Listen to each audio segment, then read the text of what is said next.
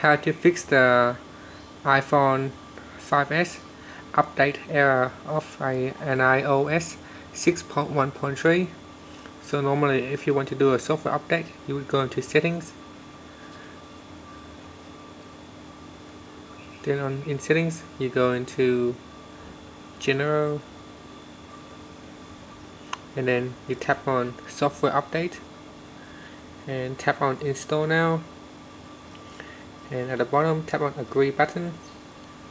Now at this stage it should try to download uh, the software and perform the install for you. But instead of it's installing the update it show an error unable to install update. An error occurred installing iOS 6.1.3 now I'm going to show you how to fix this issue. Just tap close the button for now. Uh, to continue to update your iPhone 5's um, software um, simply plug your iPhone into the computer. Uh, remember this step is important. Make sure you plug the iPhone into the USB port and then after that you can start iTunes software on your PC on your computer or on your Mac. Once you do that um, iTunes should automatically detect um, your phone uh, have a new update to uh, to update the software. Once you see this um, dialog basically you can uh, click on download and update or download only. If you click on download only you can then update the software later. Uh, in this tutorial we're going to show you how to download and update. So we click on that button. So the software is trying to contact the Apple server to download the software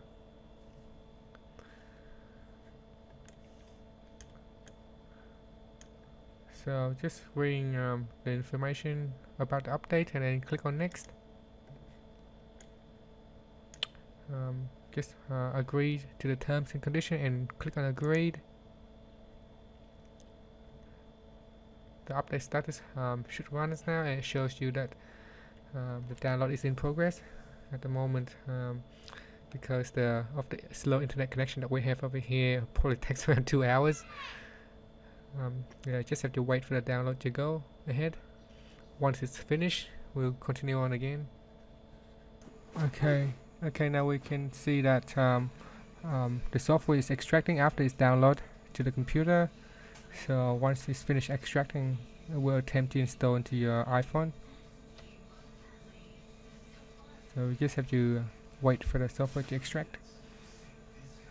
Uh, next try to back up your phone so just wait for it to uh, do it whatever it needs to do.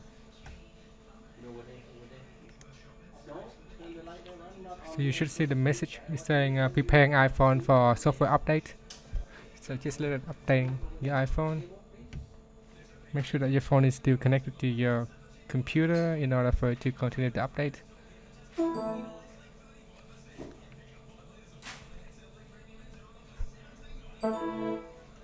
on your iPhone you should see um, uh, it should show the iTunes icon with a, a USB cable plug-in.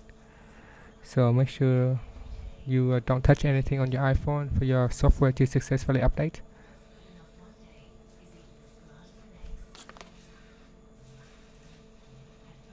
Now depending on your download speed um, the download can take um, several hours uh, mine taking uh, at least two hours to download the software so imagine the file must be huge over a gig or something for it to download that long.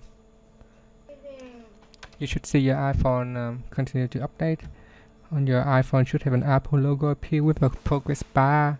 Running across under the Apple icon just continue to wait for the update